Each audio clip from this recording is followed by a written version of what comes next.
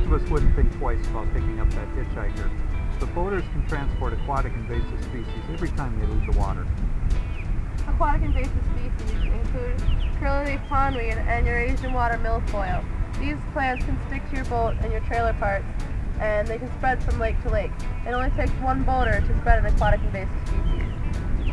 Do your part. Clean, drain, and dry your boat every time you leave the water. Adequate drying time is five days to eliminate aquatic invasive species. Make sure to empty your bait buckets and drain your live wells before you leave the water access. If you bring non-contaminated water with you, you can use your minnows again for the next fishing trip.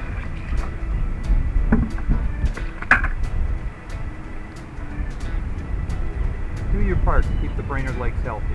Clean.